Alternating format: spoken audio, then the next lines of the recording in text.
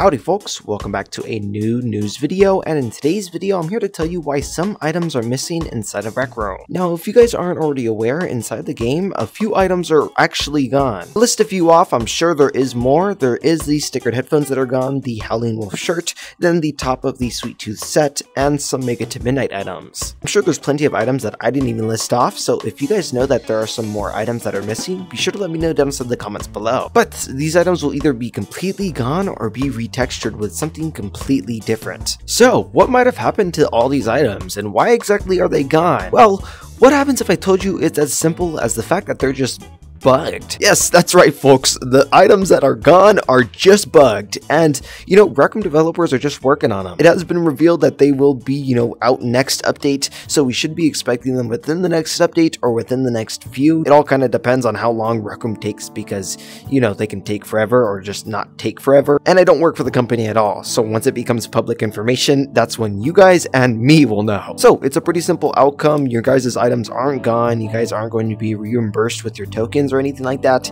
You guys are just going to keep the items that you guys owned previously. So don't even trip, don't worry, and that's basically it. Be sure to let me know if you know any other items that are actually missing. And on top of that, be sure to like this video, subscribe to the channel, and support me in-game by using code SK0L. Thanks folks for all your love and support. It not only helps me out, but just helps me out with the algorithm as well. So thank you folks, and without any further ado!